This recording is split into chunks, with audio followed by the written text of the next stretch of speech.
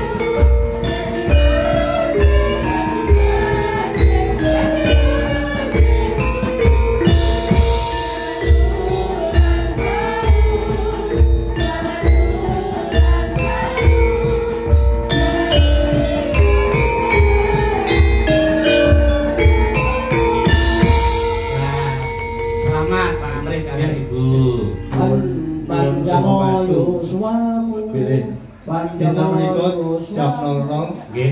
saya dengan istri saya tepat 28 tahun hidup bersama. Happy anniversary kalau lagu itu mulai dadi ya. Hati-hati. Nggih. Iki anu Pak Dimarwoto ulang tahun pernikahan sing kaping 28. Panjenengan iki wis marek apa warek mangan gempalane jagat.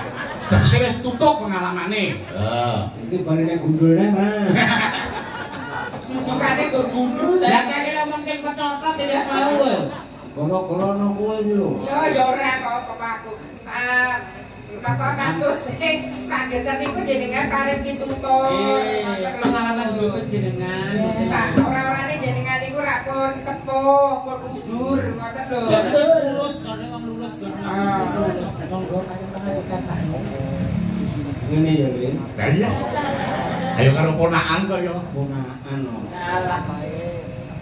siji-sijine sing sesandingan marang jeneng sira wilu tegese urip rekoso mulya wiwit sekono nganti saiki kedadian diangkat dadi kepala ing bau-bau tetep garwamu sing ndampingi lara lopo bebarengan mulane sadurunge rabi dhisik sadurunge sakramen lek nomripatmu jerengan gobokmu.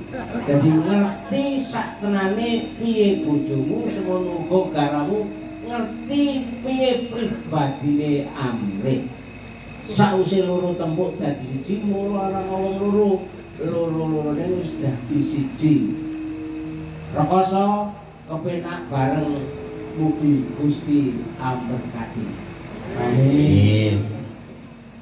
Wis ta Bu titik dalkoni ya. Iso ngajar iso lakoni. Kowe ora ngerti aku ki tau duwe bojo loro. Eh masa ta? Tenan ora Nggih. Asek kuwi nang mbok tuwa, mangan entek akeh dilokke. Karena nang ngono mbok enom ora dopeni, rasakno saiki manganmu kapiran. Kuwi mbok enom ya padha wae. Mangan sithik, karena ngene ora iso masak enak sing kono, enak sing tuwa. rekoso. Angger arep mlebu ngomongan buntute dilekersi. Mesti aduna unake. Anduk ya ratus kuwi kleru. Kleru. Karang sing padha karo mbok tuwa, ngene mbok tuwa ya ngono karang men padha karo mbok nom. Anduk kuwi. Anduk. Ndung liyane. Nggih.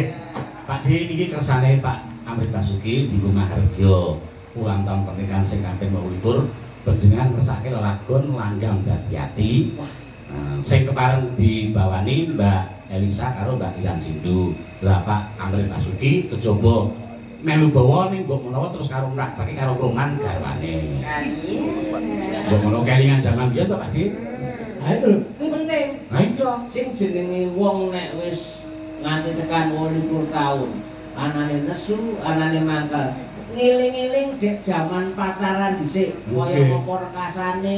Nggih. Aku ki dhisik mangan bakso sak mangkok wong loro, ora mergo mesra, Nggih. mergo pancen ora duwe. Jujur kok. Nggih. Nek jurek iki kan luar getak bojone iki. Alah sik loro-loro bareng saiki iso numpak mobil. Wah ya ora ana ora ana apike, ora ana batine. Ya wis trimo ngalah. Ngono lho. Dadi ya wis ora kasih sentak. Kan mburi ngantil lah